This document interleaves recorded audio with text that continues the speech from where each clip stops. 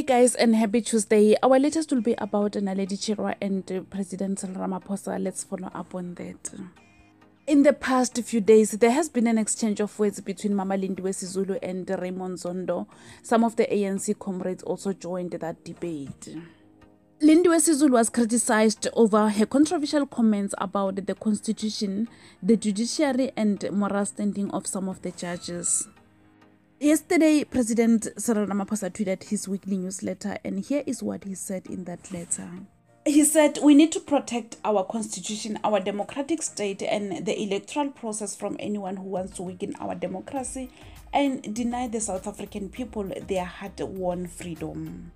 Responding to the president, this is what EFF MP Naledi Chirwa said.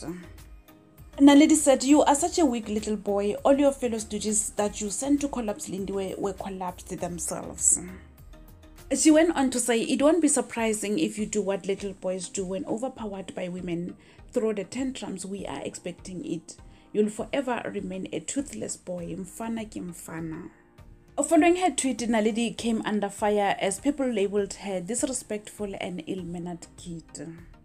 Many said, despite political differences, elders must be respected. Other than being the president, Ramaphosa is old enough to be Naledi's grandfather, and it is wrong for her to be disrespectful towards the president. President Ramaphosa hasn't addressed Lindiwe Sisulu's comments directly. People assumed his yesterday's newsletter was indirectly directed to Lindiwe Sisulu.